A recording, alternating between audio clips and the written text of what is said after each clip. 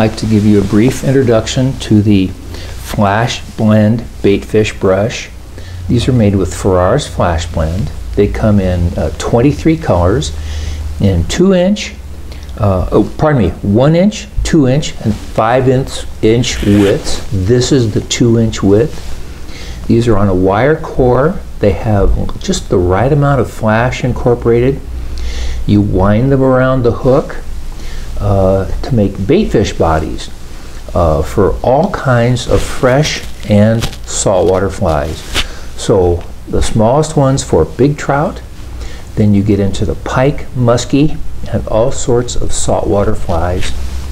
Remember, 23 colors, three sizes. Uh, I really like these. They're wonderful to work with. Translucent, lots of color options, and just the right amount of flash. Thank you.